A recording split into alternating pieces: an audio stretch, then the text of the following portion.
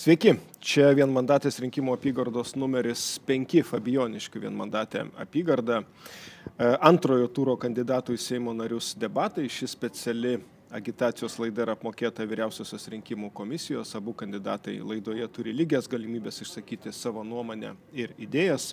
Klausimus laidos dalyviams e, rengia ir žino tik šios laidos vedėjas. Taigi debatų taisyklės paprastos, atsakydami į klausimus, orientuokime sutilpti į vieną minutę, visos laidos trukmė 30 minučių. Taigi laidoje dalyvauja Aistė Gedvelinė, Tevinės sąjunga Lietuvos krikščionės demokratai. Sveiki, Aistė. Labą dieną. Ir Remigijus Motuzas, Lietuvos socialdemokratų partija. Sveiki, Remigijus. Labą rytą.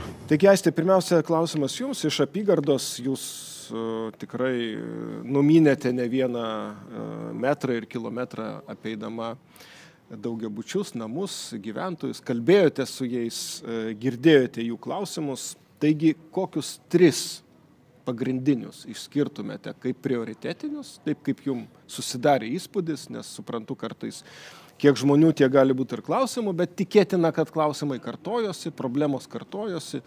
Tai tris išskirkite ir kaip, ką jūs jiem atsakydavot, jeigu jie to klausdavo. Ir turbūt esminis buvo klausimas, kaip Seimo narė ką jūs galite padaryti tais klausimais, kurie skėlė gyventojai? Tai turbūt uh, nustebinsiu pasakydama, kad dažniausiai žmonės nekalbėdavo apie uh, apygardos pro problemas. Nebuvo taip, kad čia man reikia gatvės ar plitelių. Taip, buvo tokių situacijų, kada žmonės ir, ir atėjo ir sakė, mes čia, pavyzdžiui, kaimelio apylinkiai turim nesfaltuotas gatves, ne, ne, neturim vandentekio normalaus, neturime e, apšvietimo gatvėse.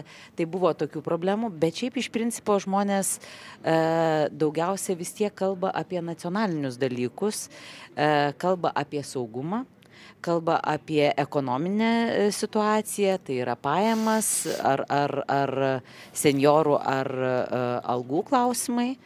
Na ir aišku, kadangi aš prisistatau kaip aplinkos apsaugos atstovė, tai žmonėms tikrai neramu dėl kertamų miškų.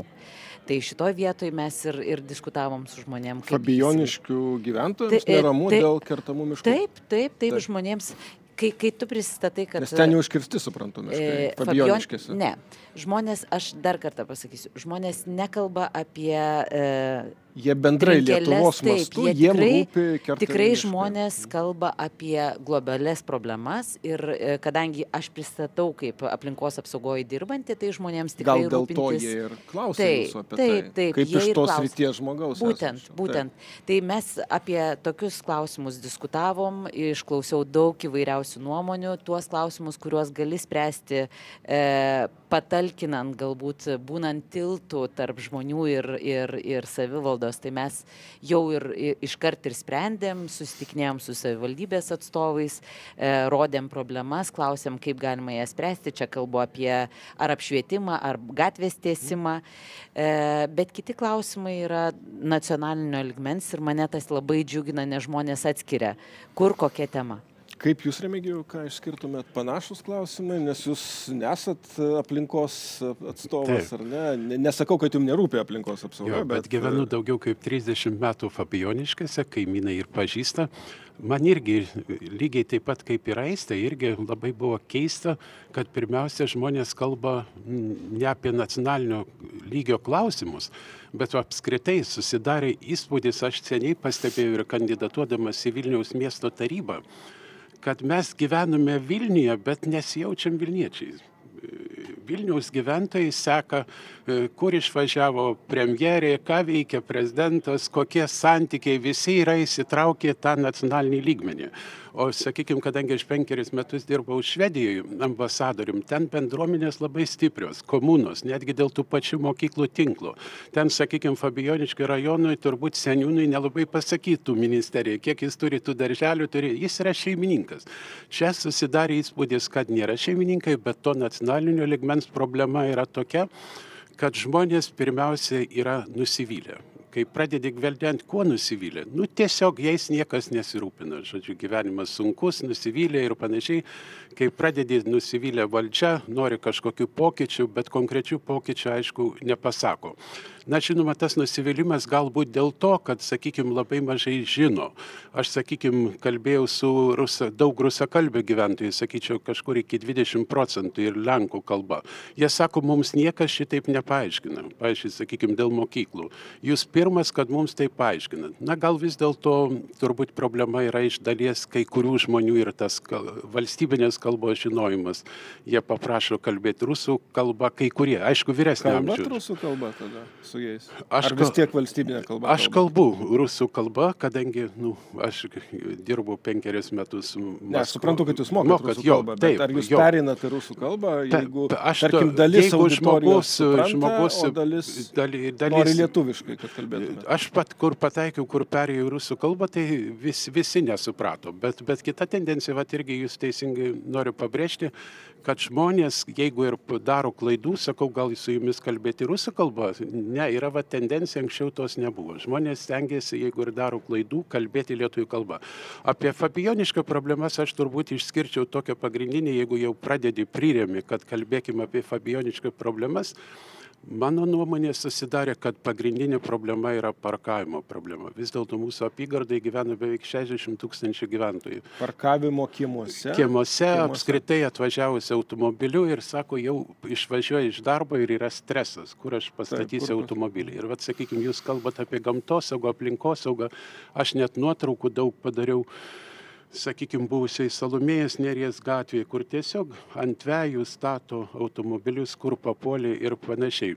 Tai tokia problema yra ir ir žinoma kita vertus į į tie įvažiavimai į kiemus nes senos statybos ir panašiai.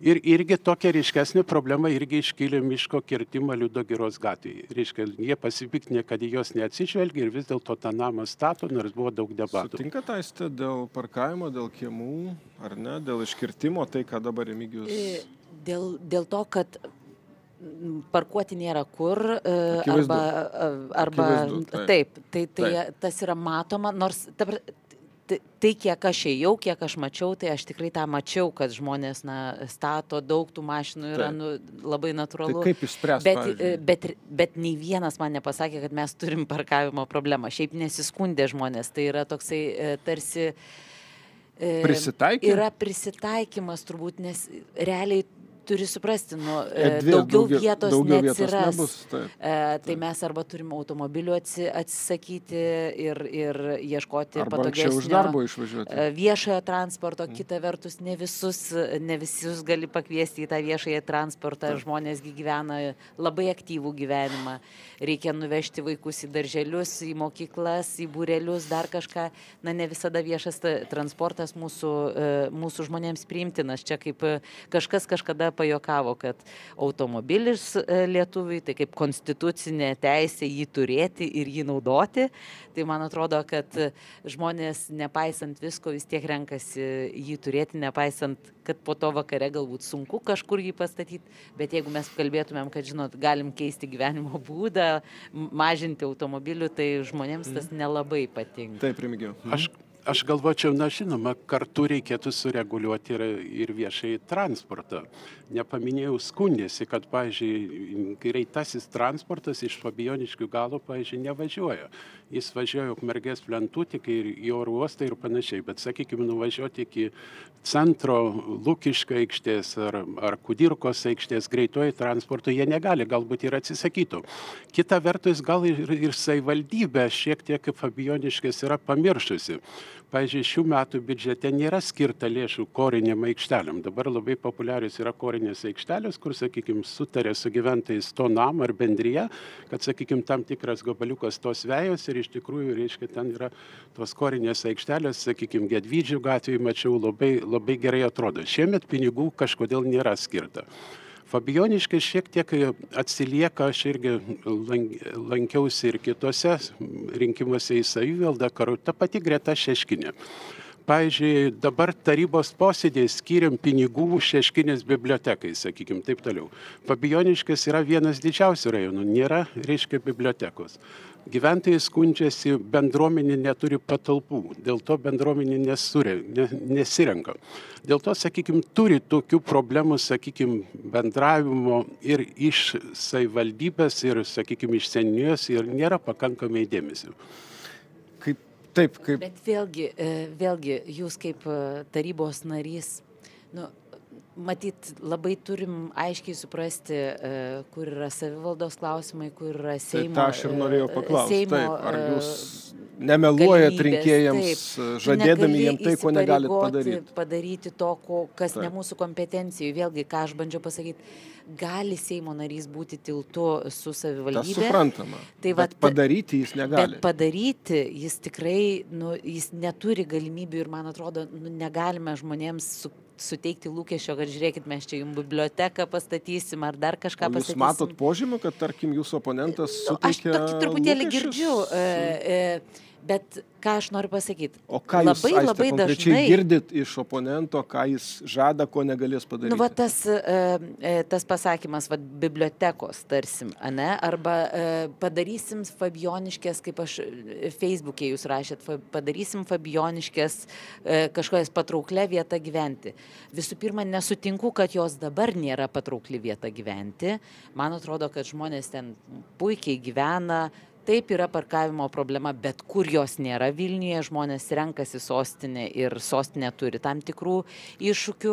E, Man atrodo, kad vyksta tam tikri pokyčiai. Yra ir, ir skate parkas atidarytas, ir, ir gatvės asfaltuojamos, ir apšvietimai tiesiami. Ir čia ieškom sprendimų su savivaldybė, vėlgi bandant būti tiltu, kaip atliepti gyventojų e, norus konkrečiai, tarkim, ka- kaimelio, kad išasfaltuotų papildomai gatvių ir apšvietimą sudėtų. Bet vėlgi, nu, mes turim suprasti, kad vietos naujos statyti kažką neatsiras ir tie patys žmonės, kur atsakėt, pyksta, kad, kad iškirsti medžiai. Jeigu mes norim kažką pasakyti, kad mes čia pastatysim kažkokią naują biblioteką, tai kieno sąskaita tada? Nes jeigu mes kalbam apie, tarkim, Ozo parką, nu, žmonės jį saugo, jie nori turėti to žalios gamtos, jiem kuo mažiau asfalto ir kuo mažiau pastatų, jie tuo labiau nori, nes kokybė šiuo metu žmonės labai vertina tą žalumą ir jie nori to žalumo. Remigijau, Ir kuo mažiau dėl aplink. to, kad žadat tai, ko negalit padaryti? Ne, aš, aš be jokios abejonės mes ir Seime, ir nacionaliniam lygmenį mes negalim padaryti. Taip vienas Seimo narys negali padaryti. Bet sakė, kad jūs Jo, žadat tai, jo. ko negalit padaryti. Ne, tai žadat aš, tą aš, nežadat? aš nežadu, aš tik konstatuoju, kad nėra. Kodėl neįmanoma padaryti bibliotekos? Nereikia statyti, aš nesutinku, kad reikia statyti. Mes turim patalpų, kurias galima pritaikyti, toj pačiai seninėje, pirmam aukšte, sakykime, ir panašiai. Bet aš galvoju, kad turi būti išlaikytas balansas. Aš iš tikrųjų žinau, kad Seimo narys dirba, yra atsakingas ir už savo apygardą ir dirba nacionaliniam lygmenį. Seimo nario yra priimimasis kabinetas apygardo ir kartą per savaitę Seimo narys turi priimti gyventojus. Seimo narys, aišku, pats nesprendžia, bet jis tarpininkauja, jis turi paklausimo teisę. Paklausimo teisę savivaldai ir, žodžiu, perdodamas gyventojų lūkesčius. Aš, aš manau, kad, sakykime, reik, turint atsakingą požiūrį, padaryti labai daug galima. Reiškia, galima žingsnis po žingsnio ir galima padaryti. Be jokios abejonės, kad sutinku, kad iš tikrųjų aš sakau, kad šiuo metu yra ge- gera vieta gyventi Fabioniškis. Aš pats gyvenu per 30 metų ir išsiskelčiau, jeigu nebūtų gera vieta gyventi. Bet aš galvoju, kad lyginant su kitais mūsų mikrorajonais tai yra patrauklesnė. Sakykime, net pagrindinė alėja nuo seninijos yra ištrupėjus ir panašiai ir panašiai. Kad apibendrintumėm šitą temą, nes jinai be galo ir tikrai svarbi ir jau mes pusę laidos jai skiriam, bet negalim vien jai skirti. Vienu sakiniu, Aiste, po to jūs, Remigijau, kuo skiriasi jūsų rinkėjas? Ot jūsų rinkėjas, kuo skiriasi nuo Remigijos rinkėjo? Kaip jūs taip vienu sakiniu pasakytumėte? Oi, turbūt sunku, sunku juos su, su, sudėti taip labai Portretą jau gal galite dėžutes. savo rinkėjui. Aš manau, tada kad- klausimas, kuo jūs skiriatės? Aš manau, Aš kad e, mūsų, mano rinkėjas yra e, galbūt jaunesnis šiek tiek, bet vėlgi nebūtinai ne, ne, Socialiniai sluoksniai, E, ne? na fabijoniškės sakykim jos yra pati apygarda labai fragmentuota mes turim ir gerviškės visai kitam gale tai mes turim šeškinės sodus labai skirtingi sluoksnis, ar ne? Mes turim gyvenamuosius namus, mes turim daugiabučius, mes turim naujus daugiabučius, senus daugiabučius. Tai, tai va, tarkim, Gerviškės naujesnis rajonas, na, e, tikrai tenai matėsi, kad e, ir pati vaikščiau ir mačiau, žmonės jaunesni gyvena ir ten tikrai mano rezultatas nu, gerokai skiriasi e, nuo... Bet e, aš, klausiu apie vidurinę klasę. Ar, ar labiau pasiturintis, ar mažiau pasiturintis? Aš manau, kad ir vidurinė klasė, ir daugiau pasiturintis e, jaunas rinkėjas, ir, ir vidutinio amžiaus, taip pat seniorų, kurie tikrai labai e, palaikantis sutikom. E, na ir man atrodo, kad turbūt tie, kuriems rūpi tie nacionaliniai klausimai, daug, didžioji dalis žmonių jaučiasi galinti savim pasirūpinti, jiems rūpi kad kažkas pasirūpintų dalykais, kurie... Kuriais jie negali Kuriais pasirūpinti. jie negali pasirūpinti. Jie nori to tokio mhm. tikro atstovavimo, kurio jie jau nebegali padaryti Taip, ir tai nėra savivaldos.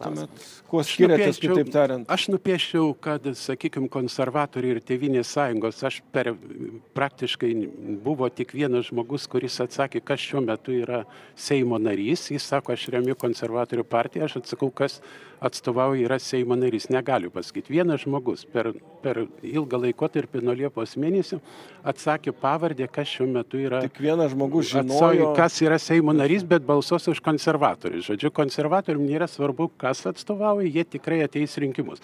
Lygiai taip pat reiškia Lenkų frakcija. Jie žino, kad jiem yra falsuoti. Ne, tai, tai Lenkam paprasta, nes lenkiška pavardė. jo, ne? jo. Bet, Ir taip toliau. Reiškia, bet jie irgi nežino, kas, sakykime, net kandidatų nežino. bet ar jūs žinot, Remigijau, kas Prašau. jūsų rinkėjas? Portretas. Žinau, rinkėjo? tai va dabar ir pasakysiu. Koks? Aš, mano manimum, portretas yra tai viešasis sektorius, valstybės tarnybo vidurinioji klasė. Nes ir atpažįsta, ir diskutuojama apie švietimą, apie diplomatiją ir taip toliau. Man susidarė toks įspūdis. Supratau, dabar tai, ką Aistė irgi užkabino ir tai, kas labiausiai rūpi žmonėms, tai yra saugumas, ar ne? Tai dabar klausimas, e, Remigijau, su kuo, su kuria valdžia lietuviai, Lietuvos gyventojai, Lietuvos gyventojai, atsiprašau žodį lietuviai, Lietuvos gyventojai, Lietuvos piliečiai jaustųsi saugesni su socdemais ar su konservatoriais? Aš manau, kad, kad dvi sritis, kiek iš patirties savo ir politinės, ir profesinės galiu pasakyti, dvi sritis pastaruoju metu, sakykime, saugumas ir užsienio politika, kur mes sutarėm ir išlieka testinumas mūsų valstybei. Dėl to aš manau, kad, kad iš tikrųjų tiek su viena, tiek kita. Bus tas pats, kaip buvo iki šiol, jeigu socdemai formuos valdžią. Taip, aš manau, kad iš tikrųjų, kadangi saugumo svarbą mes pastebėjom, tai yra para- pasirašytas ir sustarimas, ir rinkiminės kampanijos debatų metu visos politinės partijos pasisakė, kad reikia atnaujinti sustarimą ir kit finansuoti, nors yra siekimybė 3,5 procento, bet visi pasisakė daug, turbūt atsiprašau, išskyrus Vaitkų. Jo, turbūt išskyrus. Kiti visos partijos pasisakė už tai, kad reikia tiek, kiek, kiek reikia. Aš ir aš manau, kad konservatoriai ir socialdemokratai tikrai sutarė ir būdami pozicija ar opozicijai, po rinkimų rezultatų mes pamatysim, tikrai sutars ir gyventojai Kitaip pasitikė. tariant, jokio skirtumo dabar tam, kuris svarsto už ką balsuoti, nėra skirtumo ar už socdemus balsuoti, ar už konservatorius. Tokia pat bus vykdoma užsienio ir saugumo politika. Aš Teisingai suprantu? susidariau tokį įspūdį. Kaip jums, Aistė, atrodo? E, Nu, aš aišku labai džiaugiuosi, kad girdžiu e, tokį, tokią tarsi įsipareigojimą tęsti tai, kas buvo pradėta prie Tevinės sąjungos e, e, suformuotos vyriausybės. Kam tada jie keisti, ar ne? Bet kam tada ją keisti, man Tai atrodo, vat kam ją keisti, paklausim šiek tiek vėliau Remigijus. jo. E, Mes turim įdirbį, mes turim tikrai e, puikų tiek užsienio reikalų, tiek e, krašto apsaugos ministrą, tiek e, ministrė pirmininkė, kurie nu, visi yra įsigilinę tiek į tarptautinį kontekstą, tiek, tiek į nacionalinio saugumo klausimus, tiek į energetinio e, saugumo klausimus, kas irgi be abejo labai svarbu. E, Aš, aš manau, kad mes galbūt skiriamės tuo, kad vis dėlto šiuose srityse, kurios yra be galo strategiškai svarbios ir, ir ką aš paminėjau, energetika, per debatus buvo tokių kažkokių tai pakalbėjimų, kad gal energetikos ministerijos mes čia jau galim ats- atsisakyti, nes ne va tai viskas padaryta. Bet man atrodo, kad šitos trys ministerijos, nu jos yra be galo svarbios, uh, siekiant toliau uh, eiti į tokio valstybės saugumo uh, nu, visišką užtikrinimą. Tai jau čia išsiskirtų turbūt, bet, bet iš principo mes turim labai daug žmonių, kurie yra kurie turi didelį įdirbį šitoje srityje. Ir tai man kodėl? atrodo, kad su mhm. nacionaliniu saugumu vis dėlto asocijuojasi Tevinė sąjunga, nes jinai visada buvo nuosekli šituose klausimuose tai ir nekeitė pozicijos. Motuzui, kodėl reiktų keisti valdžią tada? Aš manau, kad, kad iš tiesų turbūt pirmiausia valdžia turbūt nesutikčiau dėl užsienio politikos iš tiesų turbūt be švietimo, turbūt užsienio politikos rytis ir užsienio reikalų ministerija buvo tas rytis, kur daugiausiai sukėlė nepastenkinimą visuomenėje. Nebuvo tartasi su visuomenė. Visuomenė nebuvo informuota. Skandalas po skandalų, sakykime, ir kalio trašos ir panašiai, ir, sakykime, lygiai taip pat ir Taivanio atstovybės atidarimas ir kiti dalykai, ambasadorių skirimas, na ir pagaliau žinoma bendros tokios politikos užsienio neturėjimas ir panašiai. Pagaliau, sakykime, aš kadangi pats dirbau, pats buvau atsakingas už personalą, visiškai ministras neįvykdė savo pažado depolitizuoti, reiškia, diplomatinę tarnybą. Ir nereikėjo turbūt deklaruoti to. Sakykime, savo dviejų patarėjų paskirimas mes žinom, kaip žino konkursai. Pirmiausia, jie, mano manimu, neturėjo net dalyvauti konkurse jie atėjo iš frakcijos, reiškia Seime, jie yra politinio pasitikėjimo ir jie negali dalyvauti konkursai. Ir, reiškia, mes yra nerašyta taisyklė užsienio reikalų ministerijoje, kad išvažiuojama paprastai po trijų metų ir renkamasi tada nepopuliarias valstybės, jie ne, iš ne po trijų metų išvažiuoja. Bet, Žodžiu, užsienio politikos. Tokie smulkus dalykai, Taip. ne? Kalbu apie strateginius užsienio politikos pokyčius. Darytumėt Taip. juos ar ne? Aš manau, kad užsienio politikos po, pokyčiai. Dėl Taivano, dėl Kinijos, pavyzdžiui, keistumėt politiką? Ne, žinoma, šiuo metu. Konkrečiai. konkrečiai, žinoma, kad šiuo metu tai, kas yra, mes turim užtikrinti testinumą. Žinoma, mes nekeistume, sakykime, Taivanio atstovybės vadinimą pavadinimą. Pirmiausia, mes nesolidžiai atrodytų valstybė, tai yra prestižas, bet ir toliau Taivanio atstovybė išliktų kaip prekybinė, o ne diplomatinė. O požiūrį į Kiniją keistumėt? Po, požiūrį į Kiniją aš manau, kad nekeistume, Irgi nes mes, mes matom, kad iš tikrųjų Kinija šiandien yra agresyvi valstybė, vis agresyvesnė tampa santykiai su Rusija ir Baltarusija. Mes dėl laiko stokos neturim galimybės, Gerai. reiškia, mhm. dėstyti. Norit reaguoti kaip nors? Aš tik labai trumpai sureaguosiu, kad neliktų taip pakabinta e, čia tas frakcijos e, jaunimas ar dar kažkas.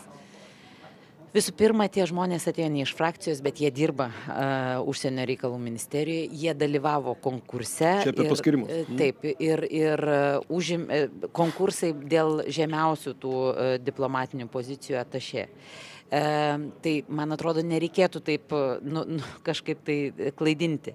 E, dėl to, dėl depolitizavimo, man atrodo, mes priemėm e, įstatymus ir tas įsipareigojimas buvo įvykdytas. Dėl ambasadorių skirimo. Na, mes žinom, kad čia ne vien užsienio ministerija viena dalyvauja šitame procese.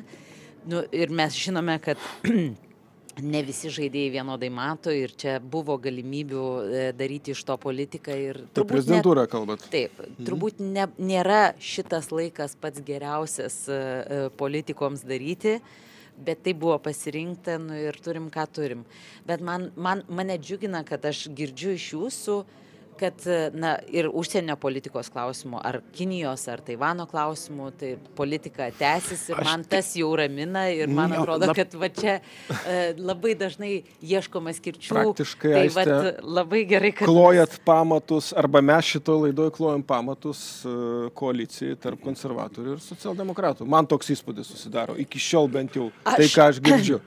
Aš Lietuvai... Tai, ką jūs visada sakėte, taip, aš Lietuvai... o socdemai visada neigia, kad taip. galima koalicija su konservatoriais, aš, matot, aš ją matau. E, aš Lietuvai linkėčiau tam tikro stabilumo ir patikimumo. Ir taip, norėčiau tikėti, supratinu. kad tos vertybinės partijos, nu, tam, senos partijos su, su tam tikrų įsipareigojimų savo e, partijos nariams, kurie irgi vis dėlto, nu, ne paskutiniai vietoj, kurie turi tam tikras vertybinės, e, tokias pamatinės nuostatas. Mhm. Na, jie, jie, jie prilaiko politikus tam tikrą prasme, reikalauja atsakomybės. Tai aš tikiu, kad jo, tos, tos Taip, partijos būtų jėga. Jo.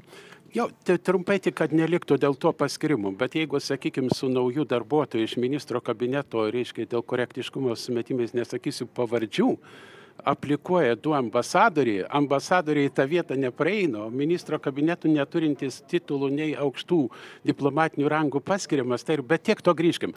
Bet aš tik tai, prašau, bet į kitą, į New Yorką, du ministro kabinetą ir vadovas buvo paskirtas į New Yorką. Vadovą. Ten Čia- ambasadorius, nu, nebegrįžkim, gal apie aišku, tai, jo, iš jo esmės, žiūrėk, aš noriu šią pasakyti tai, kad iš tikrųjų aš džiaugiuosi asmeniškai, kad atėjo toks laikas, kad turbūt, nu, žinoma, kad e, pozicija, opozicija turi savo skirtumas, bet aš pastebiu, kad mes vis labiau turim suartėjimo. Bet-. Kaip ir Vilniaus taryba. Jeigu, sakykime, ir nebūsim koalicijoje, taip, bet aš stebiu ir matau, kad principiniais klausimais Aš yra suprantu, sutariama. Jūs nebūtumėte toks kategoriškas dėl koalicijos su konservatoriais, kaip kad yra jūsų pirmininkė. Ar ne? Ar teisingai suprantu? Aš e, nesu buvęs Seimo narių ir, Ne, sakykime, nedalyvauju ir, ir aš, ma, aš manau, kad reikia palaukti antro turo rezultatų. Supratau. Ir jūs nesak, nesakytumėt, kad Gabrieliui Landsbergiui šakės. Ar sakytumėt? Na, Aš cituoju jūsų pirmininkę. Na, galbūt, galbūt aš pasakyčiau kitaip, kad galbūt Gabrielius Landsbergis galėjo išlaikyti tą solidumą, sakykime, kokį turėtų diplomatijos šefas išlaikyti. Norit reaguoti, Aistė? Aš norėčiau e, taip pasakyti, kad galbūt solidumas dabar būtų labai naudingas visoms politinėms partijoms, kurios, vat, kaip sako, dabar jau e, visuomenė briedis nenušautas, o dalinasi... Pasakymas, kad Gabrieliui Landsbergiui šakės yra Oi, Oi, aš- solidu iš Ne, Vilijos tai- Blinkevičiūtės. tai nėra solidu. nesolidu? Tai nėra solidu. A, bet kita vertus, aš tik noriu pasakyti, kad aš viską puikiai suprantu. E, dabar norisi, e, nori, ta, ta rinkimų kampanija vis dėlto statoma, nu kokie blogi yra konservatoriai. Ir praktiškai visos partijos, net kartais koalicijos partneriai, nu, stengiasi įgnypti konservatoriams, nes tarsi, jeigu tu muši lyg ir konservatoriai, garantuoja tarsi balsus. ga- garantuoja tau sėkmę rinkimuose. Bet tuo pačiu mobilizuoja ir jūsų elektoratą. E, Kažkuria prasme. Bet aš nežinau, ar tai yra ta kultūra, kurios tikisi Čia visuomenė iš mūsų. Tai ko jūs stebite? Rinkimų kampanija, bet kartais turbūt nu, nereikia tam tikrų e, ribų peržengti ir aš suprantu, kad kartais e, e, tas nervas užtampo ir pasakai vienokių ar kitokių dalykų, bet paskui tiesiog nu, visi turim dirbti vien, dėl, dėl tų pačių dalykų, dėl Lietuvos saugumo, dėl e, švietimo, sveikatos, aplinkos ir taip Remigijau, toliau. Ir klausimas sunku susitart būna, kai, kai jau... lieka, lieka kiek daugiau negu minutė. Jeigu taip rinktis tarp Nemuno aušos ir konservatorių, ką jūs rinktumėtės į koalicijos partnerius? Nu, tai žinoma, kad konservatoriai. Žinoma, kad konservatoriai. Kodėl? Už tai, kad su, pirmiausia, tai, aišku, radikalus požiūris ir, sakykime, ir, ir daugybė dalykų vertybinių, kurie, sakykime, nei man asmeniškai, nei mūsų partijai yra nepriimtini. Kita vertus ir, ir tas, sakykime, partija neturi jokios patirties, mes nežinom, kas tie žmonės. Ir Žemaitaitis, aš asmeniškai nemanau, kad jis iš tikrųjų tiesiog nusileidžia dėl tos pačios rinkiminės kompanijos ir retorikos, kad papirkti rinkėjus, bet prezidentas buvo labai aiškiai pasakęs dar prieš pirmą turą, kad jis turi teisę pasitaisyti savo retoriką. Turi teisę pasitaisyti. Jeigu Jo. jis pasitaiso Bet ir, jis kol tarkim, kas apgalėstauja, nepasitaisė. jeigu apgalėstauja ir atsiprašo, jūs keičiat irgi požiūrį. Ne, mes kol kas nekeičiame tokio Nepakeisit to požiūrio, Aš manau, kad nepakeisim. ir apgalėstaus. Ką čia prezidentas daro, Aiste, kaip jūs suprantat? Labai trumpai. 10 Prezidentas dalyvauja rinkimuose ir formuoja koaliciją. Nu, Ir vėlgi, man atrodo, tai ne tik prezidentui nedėra, bet ir visom politiniam partijom. Nu, reikėtų šiek tiek to solidumo išlaikyti, nes vis dėlto pusė, beveik pusė Seimo dar nėra išrinkta. Ir tas, e, aš jau girdžiu iš visuomenės, kad erzina žmonės, nu palaukit, kas čia dabar per, per e, sostų postų dalin, dalinimasis, Laikas, kai mes dar nesam pabaigę. Laikas. Ačiū, Rinkimų. ačiū Remigijui Motuzui, ačiū Aistai Gedveliniai, Tevinės sąjunga Lietuvos krikščionės demokratai ir e, socialdemokratai. Antram ture, primenu, spalio 27 dieną antro turo rinkimai. Svarbus rinkimai, reikia pabaigti procesą, reikia suformuoti Seimą, e, o toliau Seimas formuos valdžią, taigi jūs dalyvaujate valdžios formavime, ateikite ir balsuokite. Kitos panašios laidos iš kitų apygardų pagrindiniuose portaluose. Iki kitų sustikimų.